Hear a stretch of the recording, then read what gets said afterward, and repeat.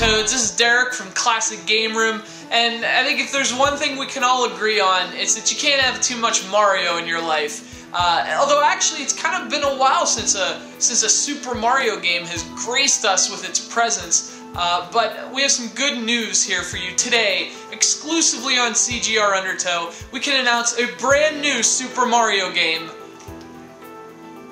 Super, that's right, it's Super Mario Sudoku. It's full 32 player online voice chat support, crazy. it's not even in 3D, it's in 4D. And it's scratch and sniff. Actually, that's not what this is at all. This is something even cooler though. It's Super Mario Gummies from Kellogg's. Uh, so let's take a look at what we got here.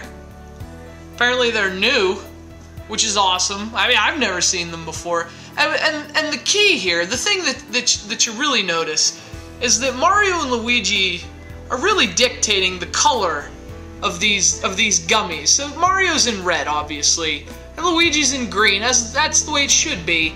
And you've got Starman in yellow. But because Luigi's in green, that, that, that leaves you with a blue Yoshi. You know, blue, that makes sense. You know, blue, blue Yoshis can fly. You test your Yoshi knowledge. And you've got an orange toad, that's a bit of a stretch. You know, because Mario took the red, and you're not gonna have a white polka dot gummy. That's just ridiculous. But so an orange toad's kind of a stretch. But what, what's really outrageous, a purple, that's a purple Koopa shell. That doesn't even make any sense. Now, the good news is they're made with real fruit, which I know is super important to all you gummy fiends out there. Although, uh, you know, it's kind of interesting. It's made with real fruit, asterisk, asterisk, asterisks. And that's all, uh, the asterisks is the key because it says see side panel for details. It's, okay, so now it's actually made with real fruit, uh, actually made with equal to 20% fruit. What does that even mean? How, how can you be made with 20%? What's the other 80% is my question. I, maybe we don't want to know. So let's check out the fun, which I'm glad that it's pointing out where the fun is, otherwise we'd, we'd all be lost. Where would we find the fun? Apparently it's in here. Look at this. 10 pouches. Let's open these up. Yeah, of course, Mario and Luigi on the package. I don't see where any controller ports plug in, though. That could be a problem. I guess it's wireless.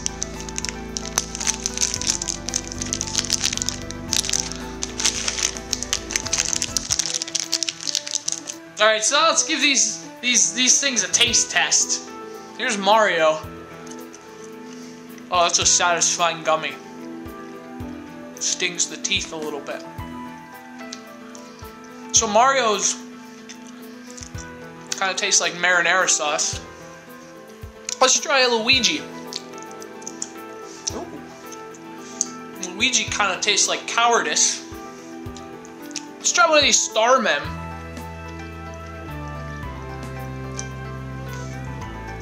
Tastes like invincibility! Invincible! Or lemon. Can't tell. I get those confused sometimes.